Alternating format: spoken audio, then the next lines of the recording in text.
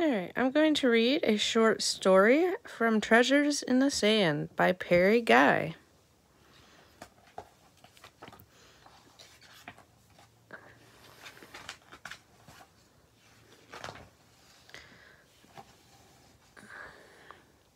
The first story is The Stuffed Pelican. The pelican rested peacefully on the rolling waves, content from a successful day of diving for fish.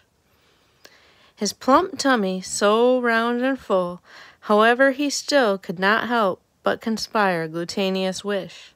Spanish mackerel and sea bass are tasty indeed. Perhaps I've ingested more than one bird should partake. But some crunchy shrimp or tasty octopus would certainly be the icing on the cake. However, they do live on the very bottom, and Jester the shark is known to harbor there.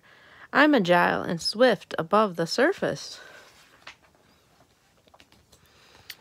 But no ability to escape should dare. If I should dare, perhaps he would not notice just one dive. Often it is on the bottom he sleeps. So I will scoop my catch quickly, then my dining will be complete. So the pelican flew up high and dove into the water straight down, so quickly to the bottom. What a bountiful catch he found. Startling shrimp and school of squid tried in vain to escape.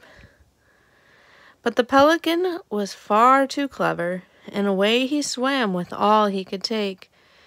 When suddenly, out of the deep blue, arose a horrific surprise. Jester the Shark appeared abruptly, and with a glow in his eyes. There was little chase. The pelican was greatly outmatched, until the surface arose bubbles and feathers, but not even the slightest splash. And although the story may seem sad, it is the natural way of life in the sea. And Jester the Shark did relay that this stuffed pelican was the tastiest that ever could be.